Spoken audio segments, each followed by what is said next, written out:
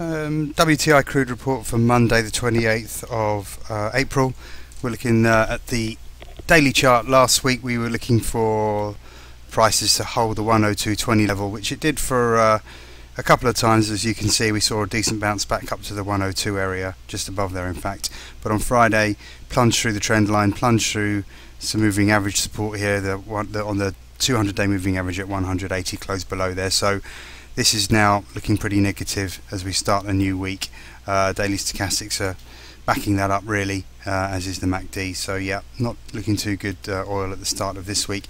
Just getting a little bit oversold in the short term, but I think any bounce is going to be a selling opportunity after that bearish weekly close.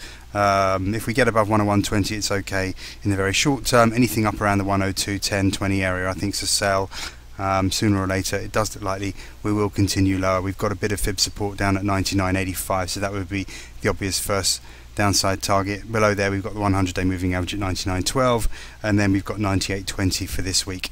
Um, we should see a decent bounce from there because as I say we are already entering oversold territory on the daily chart even though I wouldn't say that that's oversold enough to uh, even think about buying into a long at this stage.